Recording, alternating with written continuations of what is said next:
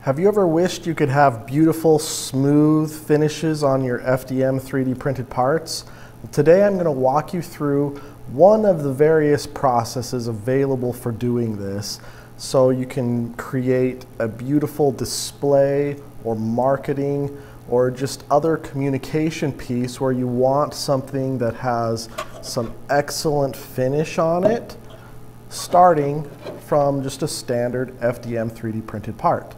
I'm Joseph with GoEngineer and I'm going to walk you through this process. There is some elbow grease involved, but if you're only going to do it once in a while, this method will work great. You begin with sanding. I like to start with a lower grit sandpaper like a 320 or 680 sandpaper. This allows me to knock off all those high ridges really quickly and get a good start on the project. But the real trick here is to leave the dust in place.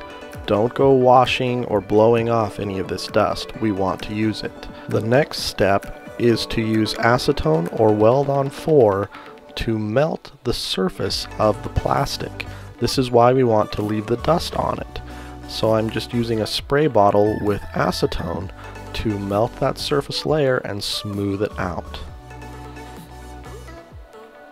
It gives a little bit of a foggy surface, that's just how acetone reacts with ABS, but it smooths it out beautifully. Next is wet sanding. I'm starting with a 600 grit wet sandpaper before moving on to priming. Using an automotive filler primer, we will additionally fill in any of those bumps left behind from our sanding. It's always better to use multiple coats than to get it too thick and have runs or drips. So take your time and be prepared to do several coats. Once you get the primer on, give it sufficient time to dry based on what the bottle says, and then move into wet sanding again.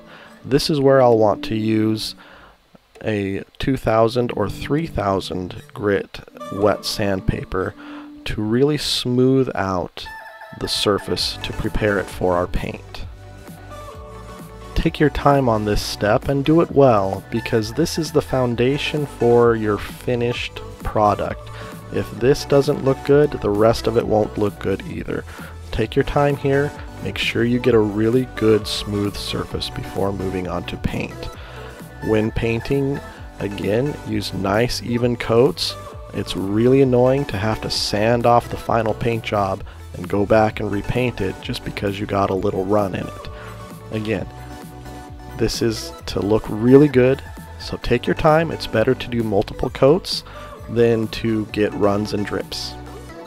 As this is an automotive part, I chose an automotive touch-up spray paint to use for it to give it that finish that I was really looking for to represent the type of part it's going to be, in this case, a rear view mirror.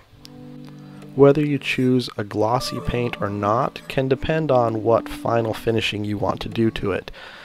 Here I'm going to give it a final wet sanding before I apply a gloss and even a polish to it. But that will all depend on the end finish that you really want. I chose to just finish it with a high gloss acrylic spray rather than a full polish, but that's just how it worked for me.